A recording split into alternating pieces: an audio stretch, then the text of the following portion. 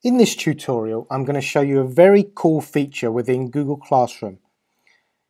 It's where you can annotate onto a document using an iPad or an iPhone.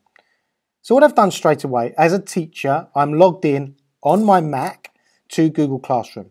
So I have my screen here. Now what I want to do is I want to add an assignment. So I'm going to click on the plus and add an assignment. And my assignment is going to be draw a house. I can put the instructions if I want to. I can put a topic. And now what I need to do is I need to add the Google Doc that I want the students to use. So I'm going to click on the Google Drive and I've created a document here and it's called My House. So let's go back to Google Classroom and there is my document. So I'm going to add that. And what I want to do is I want them all to have a copy in the classroom. So I'm going to click Make a Copy. I'm not going to have a due date. I'm just going to leave that as it is. And now I'm going to assign that. Okay, so there's my assignment. I have one student in my class. And now I'm going to go to my iPad where I'm going to act as a student. Okay, so now I'm in that class. So let's click on stream and refresh that. There is my assignment on my iPad. I'm now going to click on that. It's going to open the assignment and now I want to open the Google Doc that's within that assignment.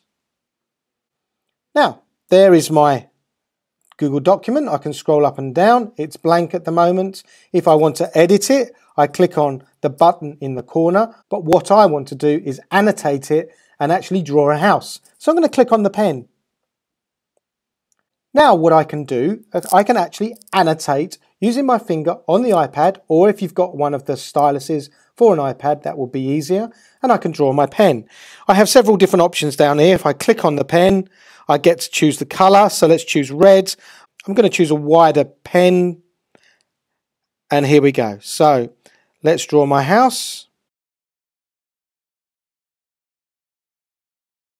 Let's have a blue window and a purple door. Now once I've done that, in the corner there's a little disk which means save. So we're going to click on that disk and save that. Now that is then converted my Google Doc into a PDF. So there you can see that's what the student will see now and now the student can hand it in.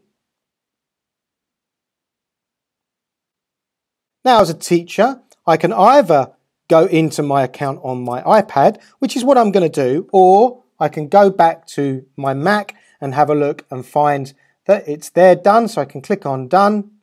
There's my students. I have two attachments. I can click on that and there's my PDF. I can click on the PDF and there is the document.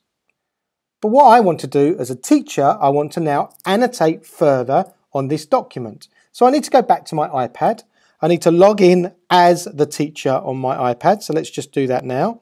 And now go into the classroom. There is the assignment that I set. I can see that one of them has been done. So I click on the one. All right, let's draw a house. So let's click on that. That's the original Google Doc. Now let's go back and then click on student work. And now I can see here there is the edited PDF for that student. So let's click on that. And now you can see up in the corner, there is a pen. So I can click on that pen and then I can either use the text here and say, well done. Or I can use the pen to annotate it. And then I click on save